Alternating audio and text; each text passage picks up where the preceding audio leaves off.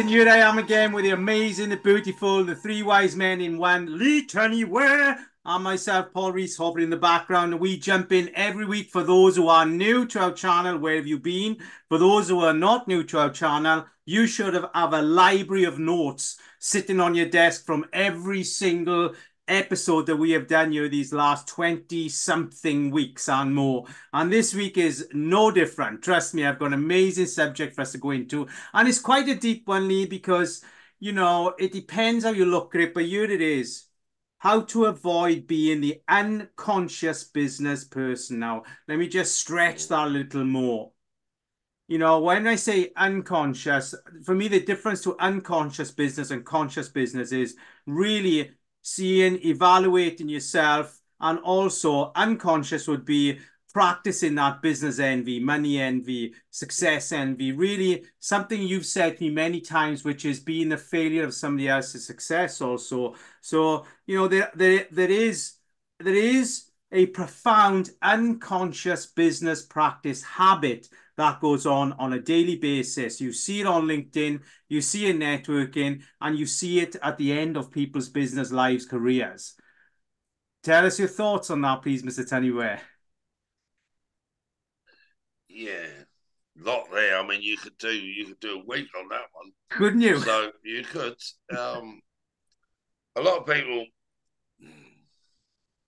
believe their best organic self is themselves. Wow. Their best organic self is their true self, where their best organic self is their subconscious self. Now, if we took it another way, their subconscious self really is their true self. Mm-hmm. However, in in the the belly of the beast of the subconscious, you've got all these little traumas and dramas that you haven't dealt with. So you're in the you're you're in the cooking part of life, let's say, yeah. Okay. And and you, the problem is with that, you can be triggered, or you can take something that's business and make it personal. Mm-hmm. In the business world, yeah, business is a corporation. Yeah. So the word corporation, its roots come from the word corpse, which means it's dead. Business is dead. And the reason business is dead is because it does not have a life the person that manages it, communicates it, is the life form that communicates on behalf of the corporate structure. So when we make business personal, mm-hmm. yeah, we're actually bringing parts of ourselves into just or into a record, just pieces of paper. So for so that can be heard. So the language we use. Yeah. So we might be, so if I talk maths, two plus two is four, four plus four is eight, eight plus eight is 16. It has no, it has data, mm-hmm. it has no emotional value. However, to a child that's five and you say you're four, you might get the reaction because now the data's personal. Oh, wow. Yeah. So in business, the data's never personal, it's an outcome. You are not what you do. Yeah. But what you do is what you've chosen to do, or you're, and this is where I suppose in the business world, um, whether you're a business owner, solo entrepreneur, whatever, or you're working in a business, if you don't align your person, your personal being with what you're doing, with your own personal goals, you can actually be the brakes that's on somebody else's business. The brakes that put the handbrake or the brakes on, or the brake in their business, the downturn. Mm-hmm. If you've got, say, and it, it, it, the more you've got, the more it compounds. You've got one or two people in a business, and they're conflicting with where the business is going, personally conflicting. Then that's a bit like saying, like you're driving with the handbrake on. Your team has to be aligned the challenge is that people come into what they do to be validated, recognized, seen, or uh, um, realized, mm-hmm. which means they're on a personal journey while they're trying to earn an income and or while they're trying to grow a business. So I, I can't believe he didn't validate me on my idea. I can't believe he he didn't give me credit for it. I can't believe I didn't get the bonus. I can't believe I didn't get the the the oh the promotion, and that's in the job part. Yeah. But, wow. And it, the same thing. I can't believe I didn't get the sale. I can't believe he didn't buy it. He's wasted my time. Is this and it's they're all personal statements. So but you can spend a lifetime in the drudge of it. The easiest way is this, and it is the easiest way. You've got your organic self, just so that's heard. You drive out to the countryside, yeah, and you go up in the middle of nowhere, a bit like in Wales, and you just walk until the fences go, until the walls go, yeah, and everything's as nature intended. No houses, no nothing, mm-hmm. just bushes and heather and yeah, stones and rocks and all just all over the place. And nobody ever goes, I wonder why nature or God put that rock there. What purpose is it serving? Yeah. Yeah. When you go into near a city landscape or a park, it's designed. Yeah. There's an area for communal picnics. There's an area for football. There's a pond, a fountain something that has running water to attract people. Why does it attract people? Because instinctively, one of our hierarchy needs is water, and water attracts people. Another one of our hierarchy needs is food. So you need somewhere for picnic tables and different things because these are instinctively in us. So when we put those things in, it's in a designed area, everybody goes, "Oh, how lovely and natural it looks," but it's not natural; it's specifically designed. When it has intelligence behind it, an architect behind it, a designer behind it, with an end goal in mind. That's sort of like business. Mm-hmm. Because they didn't just put a park there, they thought through the process, even down to how the paths went. Um, and I'm sure you've been to some places where you cut across the corner of the path because the yeah. path's in the the path's in the wrong place. yeah. Instinctively, we want to go that way. That's why they have to put signs up, keep off the grass, because yeah. it's a bad design. Now, keep your dogs off the grass, we get. When they tell you to keep off the grass, it means that, in a sense, that it hasn't been designed. There's something happening organically mm-hmm. in the park. So they put these signs up.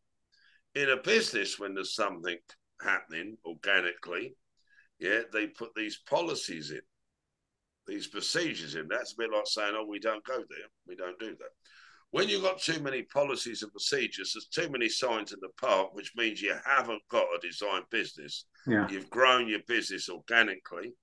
And because you've grown it organically, you're trying to now control instinctively human beings. Mm-hmm. And that's when it's not a wholesome environment. If it's your business, it's my business. I've worked for years, and now this Paul comes in and he's doing X, Y, Z. Paul's got a totally different perspective totally different ingredients of life. The challenge is that's where good communication is. So the easiest way to unweave it is this: there's the organic self, which is a bit like Wales, way up in the mountains, or any like nature where there's no houses, no roads, no nothing. Literally, you have to walk to it. When you see the landscape there, that's organic, and many of us, that's like our subconscious. Okay.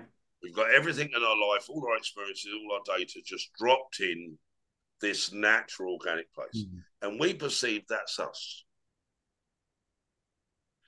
So it's not us, it's just we've gone through life a bit like with this carrier bag and we've dropped everything in it good days, bad days, ups and downs. And then we need our aware and controlled self. Our aware self is we're aware there's some baggage in the inside that doesn't really serve us. That's where we start to wear the mask. Okay. And when we start to wear the mask, that's our control self. We do not allow people to see what's in the bag. Mm-hmm. If we do, they won't value us. If they do, they they sack me. If they knew I said that, if they knew I'd done that, yeah, if they knew my dad did this, if they knew that, we got all this baggage, yeah, and we hide it. That's our control self. So an easy exercise is you have three columns your organic self, your aware self, and your developed self. Personal wow. development is where you design you. And the more designed you are, you can't take away your spontaneity. You can't take away your personality, as in your joy, your expression, your energy, the life you put with it. Mm-hmm. But you also can't step into teacher's box and get every single tick right because if you're going for perfectionism, you're in pure procrastination. Okay. Wow. If you're going for perfectionism, you're in pure trauma because you're too worried and too fearful of what other people will think about you, which mm-hmm. means when you're trying to, in perfectionism, you're trying to craft the Tutankhamun mask, the one that everybody's in awe of. Yeah. And if you're, when the real world is that no human's perfect. So why would you strive for perfectionism? A lot of pressure yeah. in that. And not only that, it's very disrespectful to others, perfectionism. And I'll tell you why. Because you believe they're that shallow. You believe they're that judgmental. Now, now, if you're around people like that, then you should have the awareness that they are. Yeah. But if they're not and they're interacting with you and you're too scared about what they think, that's actually you that's trying to control them. It's actually you that's trying to do all the right things and believe that that's what others want from you. Yeah. And then even worse, you blame them. I'm under so much pressure that this is what they expect. No, that's what you believe they would expect. That's from your organic self. And you're not aware. So as soon as you trigger, as soon as you feel uncomfortable, as soon as you feel stressed, in the awareness box, why am I feeling this? Mm-hmm. And it's because either of a consequence or of in the future, as in Paul might say this, John might say that, or in the past. Because as soon as you get triggered, you are no longer present. Wow. And if you're no longer present, you are no longer whole. And if you're no longer whole, you, one of your brakes is on. You've got four wheels and one ain't turning. But you're trying to hold yourself together to pretend everything's perfect. So you've got three boxes organic, aware, and developed. Our responsibility, sometimes in real time, it can be a bit tricky to do because there's a lot going on. You're trying to deal with the outside world and the inside world. So, reflection exercises. How was my day today? Well, it, overall, a good day. Had a few blips. What were they? Well, I don't know. I've got a puncher. Fair enough. Could happen to any of us. So it's a real world problem. Yeah. Well, that's a. How did you react or respond to that? Mm-hmm. Well, I found it very stressful. I couldn't. I've literally because what happens is when we hold that mask, we hold ourselves so restricted, smiling, and, and nothing wrong with that. And when it's true and authentic, that means we're in our developed self. Yeah. But when we're always having to put that face on while we're on Zoom or going, we're in the meeting and everything's great, and then we go to the toilet and we think, oh my god, how long another hour of this? oh, right, and then you're going back in. That that's the actor or the actress role, and that mm. not serving you or them. And even worse, then when you're in that environment, they think, "Cool, Paul's absolutely brilliant." Then they go because you shut, you put that Tutankhamun mask on, and everybody thinks you're brilliant. Then they go, "Paul, you couldn't help me with this, could you?" You think, "Oh, here we go again." So you've got to be in your developed self, and you've got to be able to say no. You've got to be able to say yes, and you've got to be able to realise and recognise other people's triggers. Because yeah. now the next column down is their aware, their organic self, their aware self, and their developed self. So sometimes this is where we have the conflict. They're getting triggered. Our awareness, they're triggered. Our, our awareness in present is why? What did I do? We don't didn't know what bags they're carrying on the inside, and now we've just triggered it. They're coming back at us. We don't, and it might only be subtlety. You can hear it sometimes, yeah, or just a right, yeah, okay, right, um, okay, yeah, I can hear that, mm.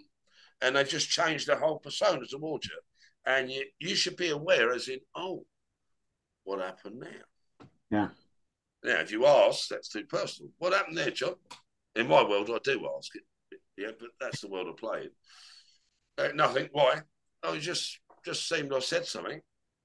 No, I'm fine. That's where they're trying to hold the mask in place, where they yeah. really want to go. They really want to pull it away and roar at you. They don't want anybody else to hear the roar. They don't mind you seeing it because now you've triggered them. They've got the right to have a go at you.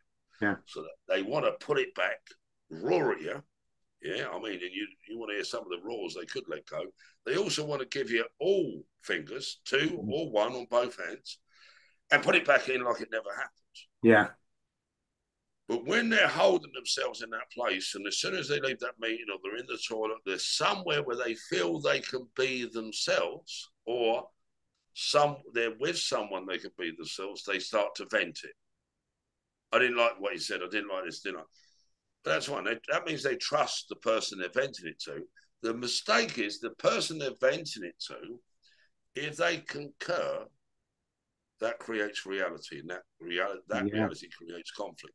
Where if they go, oh, and if we're in the oh in the aware column, oh, I'm aware that something just happened that made Paul upset. Fair enough. Happens to us all. It's life, yeah. It, and sometimes we're not aware of what upsets us. I don't know whether that's just me. You think, well, I, I don't feel happy. What? I'm not sure. If it hasn't happened in the real world and nobody said nothing in the real world, and you're in the inside world thinking, well, now, that could be that you've been triggered and you're not aware that you've been triggered, but you're aware that something's not right.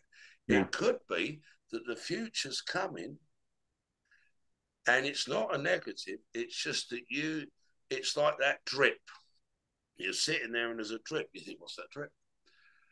And then it's two drips. You think, all right. And then all of a sudden it's a stain on the scene, and all of a sudden there's water pouring everywhere. Sometimes when you get that little uncomfortable, it's the future coming that you don't want. Because we've put things off too much. Let's call it, I don't know, avoidance. Some might call it procrastination. And we put it off. And now that it's it's all backed up against the door. And as we move into the future, our organic self is reacting to what our, our developed self has decided. Now, if the developed self hasn't trained the organic self, you're yeah. always going to have because the internal conflict we have is this, and it's this simple. It's our organic self reacting to our developed self, or our organic self reacting to somebody else's developed self. Mm-hmm. And you can hear it because they go, Why did you say that? And on you, you think, Well, what did I say? You know full well what you said, Yeah, I know what I said, but I never expected that reaction, nor I know what words to say, right? Make people dance and foam at the mouth. I'm sure you do. but when I when I don't say them, and when there's no undertone, there's no I'm going to say this and I'm going to trigger Paul. Yeah, watch this. And when there's none of that in me, and I, I just want a wholesome interaction and, and a positive outcome, and I want my well-being to stay in shape and yours. So the only way you can get there is being aware in that awareness column, when you look back over the day, what happened? Why did I feel that? Now, you don't need to know the answer to it. You don't need to know why the rock was put in the landscape. Yeah, which a lot of people think they want to know. Well, and they go right back. No, the awareness is that there's something in my landscape in the past that ain't serving me in the present and it ain't serving my future. Now, that's one part because you might you might throw it away like it's nothing. How many times does this happen to me? How many times has it happened to me before? That's where awareness comes in. This is coming up regularly. Right. So is that them or is it me? Because the common denominator normally is us. It's me. It's most likely me. Yeah, it's them. But it, it's them could be avoidance. Right. Could be denial, deflection. But if it's coming up in me quite regularly, then it's me.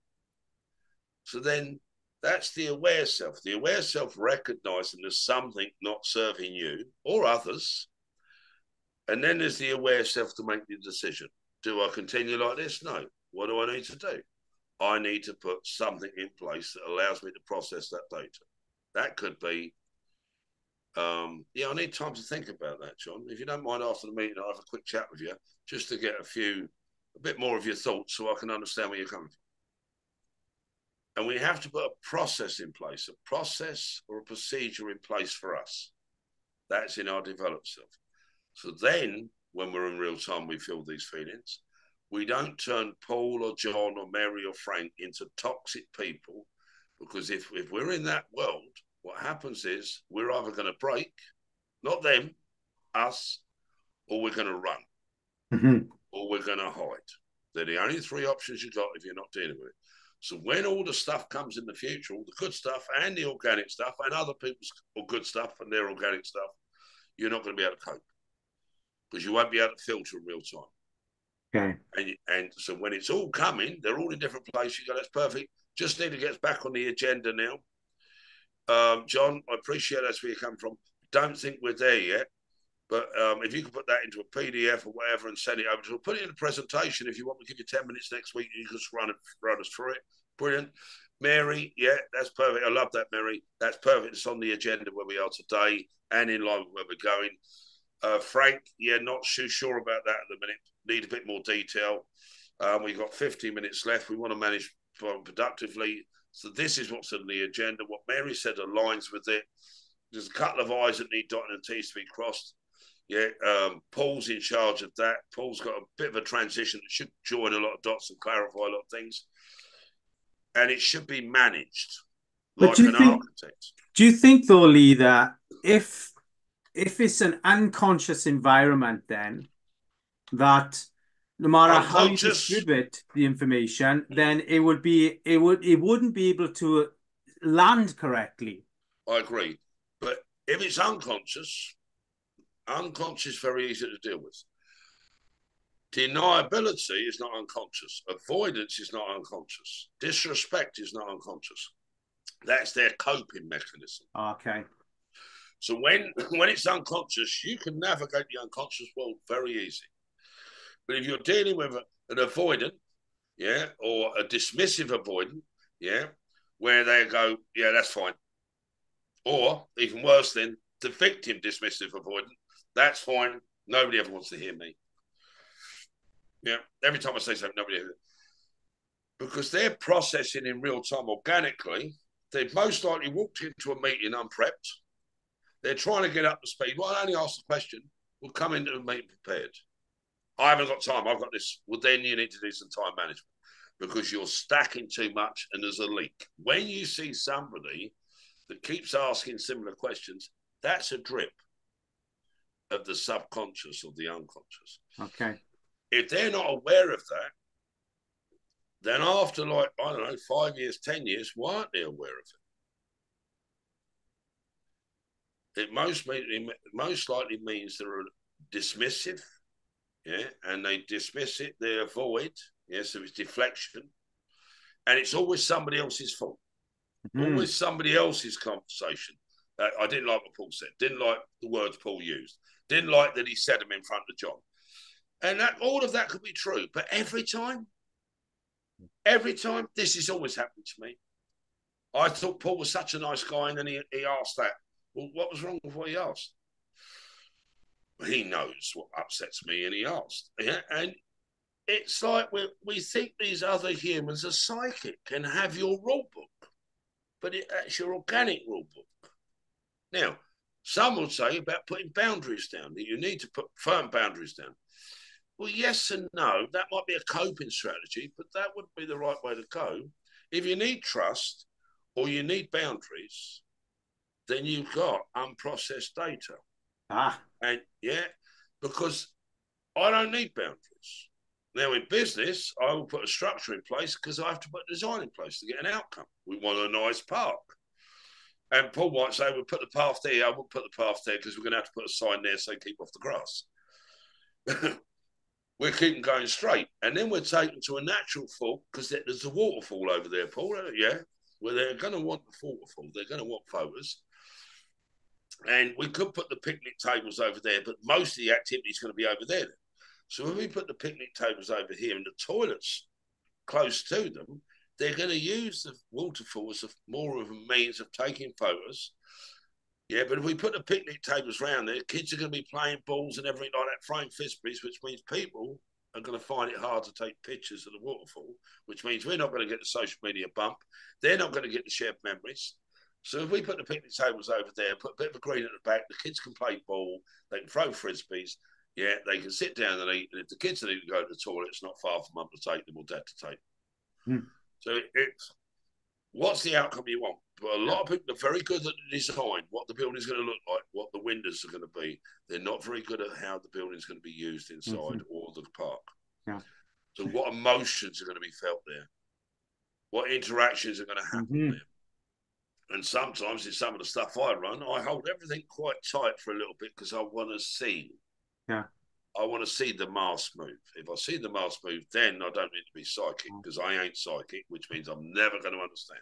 Do you think, Lee, that when we think about you, we think even as even as a single business owner, or whether you are running a business with multiple, you know, uh, multiple numbers of staff, that effectively this that what we talk about here creates power struggles.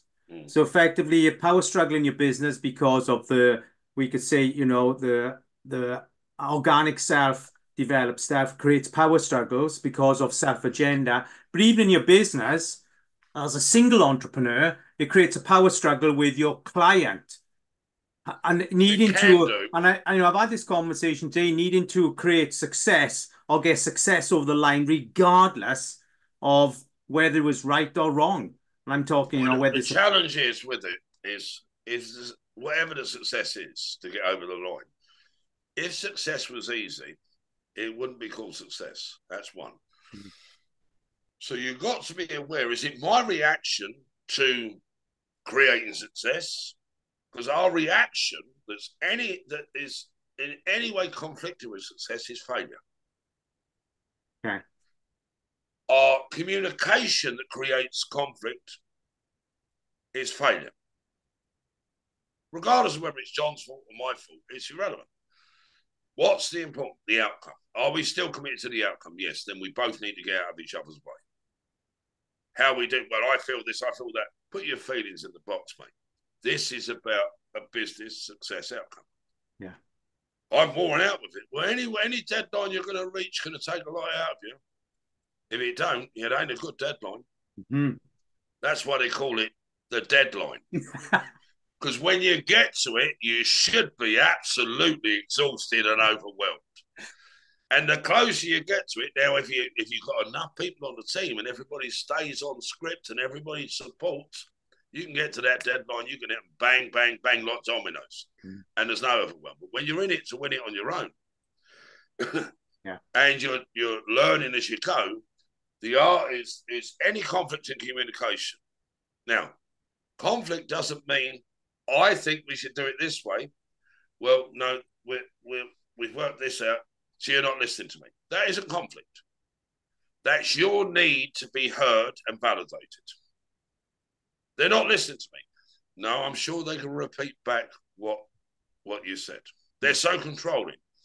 They're controlling, or the one that's trying to control success is controlling. The one that needs their idea put into place is the controller. The one that has the collaborative, and bear in mind, collaborative it's more than like, say, two involved. You, there's so many different emotions involved there, but some expect everything to go their way. That's a bit like going to a restaurant and saying, right, everybody's having beans on toast. I don't like beans. You're having beans on toast. But and they take it personally. But if it's not personal, it's business the reason we get paid or the reason we have to push is because it, if we're stretching, if we're going outside of comfort zones and we're taking our business to the next level, everybody's moving outside the comfort zones. The ones that can transition quickly are the ones that will take you to success. The ones that will hold on to yesterday and all the tomorrows, all, all the tomorrows that will come, they're either in the future, yeah, which means I can't let go of that to go here. Or what about this? What about that? They're just in fear which means it's their organic reaction to where they're going, which means they need every I dotted, every T crossed. That's perfectionism. And when they're in perfectionism, oh man, they're in sheer overwhelm. So, anyway. Lee, this has been absolutely beautiful. I'm sure all our subscribers, all our people who are watching this are going to get so much out of this, Lee. It was just such a beautiful deep dive, you know, thinking about the unconscious business person uh, there was so much more to it. And I know, you know, I may repeat this title a hundred times over the next 12 months because I tell you what, there's so many angles we can come in from. But Lee, what a beautiful delivery I really, really enjoyed that one today. I enjoyed them all, but this was really apt for me, and, and I'm sure for a lot of other people that's that's going through situations right now. So here we are. No like, subscribe, all those beautiful things. Thank you for all the comments you put on it, and we're going to say until this time next week. Leech anyway. Bye for now.